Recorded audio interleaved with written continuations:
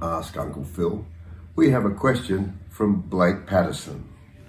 Blake asks, Uncle Phil, I know that my aeroplane's flight manual says that it's okay to operate in a crosswind of up to 17 knots, but how do I know how strong the crosswind is? Good question, Blake. Let's refer to the flight manual. Now, some manufacturers specify an actual crosswind limit for their aeroplanes. Others state what is called a demonstrated crosswind velocity. This means a crosswind strength that the company test pilot determined as the safe maximum at which he or she could maintain good control of the aeroplane. Rudder authority usually being the limiting factor. Now we'll take a look at some simple ways to calculate what is known as the crosswind component. This means how much of the prevailing wind is headwind and how much is crosswind as a kind of percentage. Here is the crosswind table from ERSA.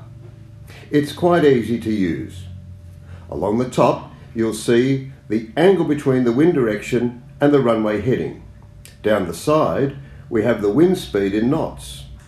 As an example, if the wind speed is 25 knots and the angle between the wind direction and runway direction is 40 degrees, then the crosswind component will be 16 knots. Alternatively, determine the angle between the runway direction and the wind direction. Wind speed and direction will be found on the TAF, or Terminal Aerodrome Forecast. As a rule of thumb, if the angle between the runway and the wind was 30 degrees, then the crosswind component would be equal to half the wind speed.